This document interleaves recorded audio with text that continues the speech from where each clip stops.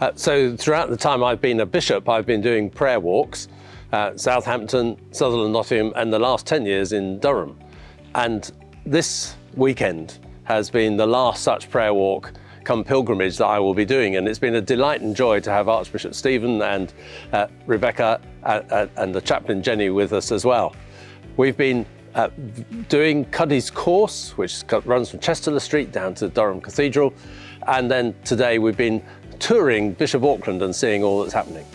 The great thing for me about prayer walking and pilgrimage is the time and the space to go at a slower pace, to reflect, to look at creation around, to think about God at work in His world, but also to meet people. And the conversations are part of the richness of what happens when we do this. And then we stop and we pray. We pray for people, we pray for places. And I, I just love doing it. And it's been the highlight, really, of my ministry as a bishop, spending time doing these.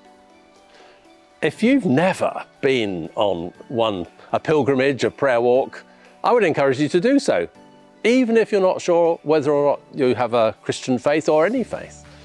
And find the joy of walking and walking with God.